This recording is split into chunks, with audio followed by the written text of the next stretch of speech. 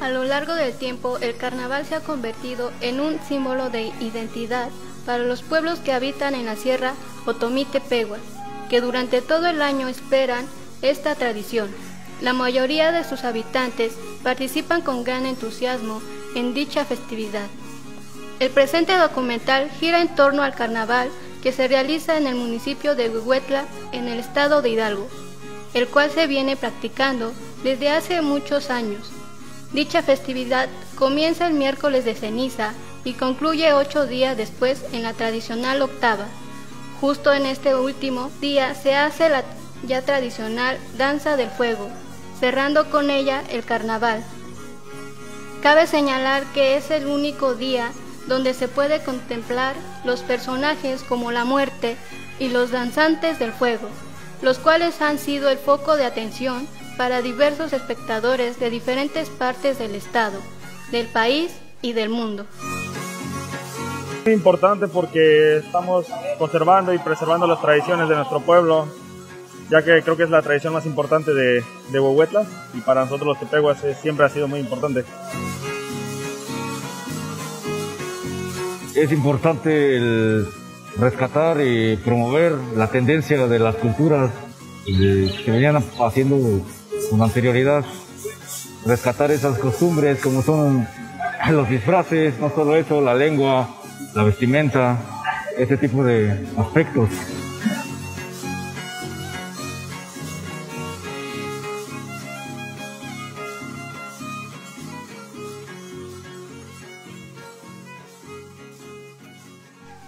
Los hueves son los personajes que representan al pueblo en el carnaval. Son muy importantes para esta tradición, ya que revitalizan la identidad al portar la vestimenta tradicional de mujeres y hombres del municipio. Son varios grupos que desfilan por las calles acompañados de un trío guapanguero para bailar. A ellos se les unen los demás grupos disfrazados, tales como los comanches, coludos, muertes, etc. La vestimenta tradicional consta de falda, fajilla, blusa de pepenado y rebozo en el caso de las mujeres. En el caso de los hombres consta de pantalón y camisa de manta, sombrero, morral y botines. En el carnaval se invierten los papeles ya que las mujeres se disfrazan de hombres y los hombres de mujeres. Los hueves son los encargados de representar a los viejos.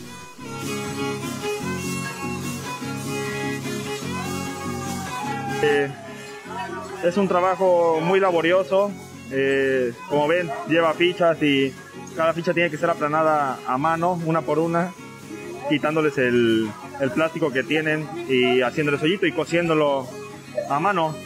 Entonces es un trabajo laborioso, tedioso y es muy importante, al igual que todos los, los trajes que, que, nos representan como tepeguas para el carnaval.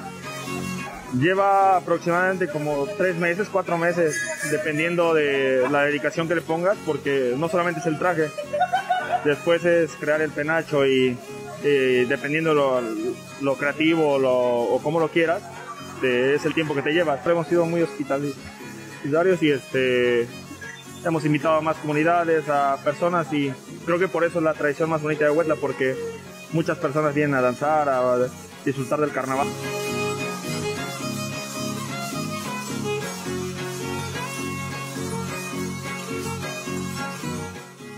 El penacho, el penacho y en los penachos, uy, uy, uy, qué admiración me da con esa gente que ya realmente expresado con sus sentimientos bonitos, no cosas feas, sino cosas hermosas, cosas que realmente indica la cultura a la que ha llegado el pueblo de Huehuetla sin darse cuenta, pensando que nomás se está divirtiendo, pero no, tras de la diversión está el hecho de que la cultura los ha envuelto en un, íntimo ser de, de, de, nuestra gente de aquí, de, de,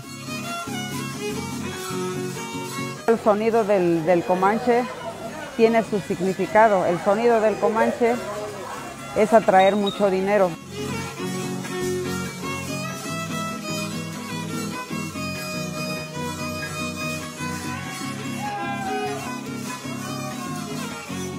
Este, este, disfraz que nosotros traemos es el fin de, del carnaval porque nosotros vamos a, a, manchar los que, por ejemplo, los coludos, los diablos que andan bien este, blanquitos.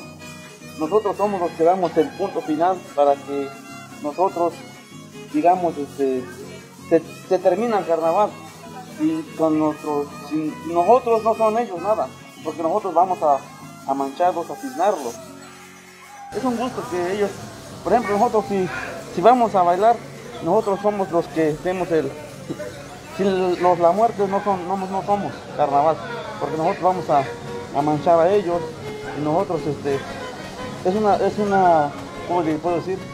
Ellos, si nosotros no son nada, y si nosotros nos manchamos felices, nosotros somos, este, vamos a ser ganadores nosotros.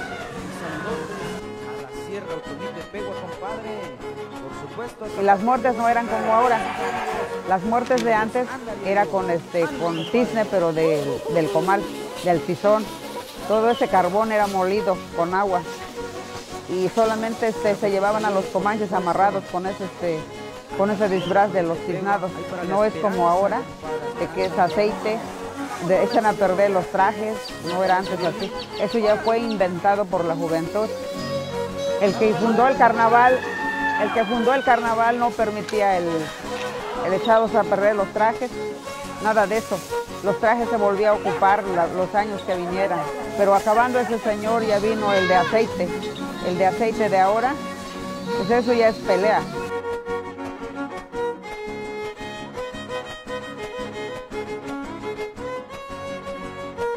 perfecto. Mira, este traje es un traje de diablo que consta de una capa está hecho a base de tela de satín. Este, deshacerse de los pecados a través del, del disfraz y, de, los, de los conceptos del baile. Esto es algo que ha ido modificándose a través de los años. Lo que realmente ahorita vemos es diferente a lo que se vio hace aproximadamente, aproximadamente 20 o 30 años.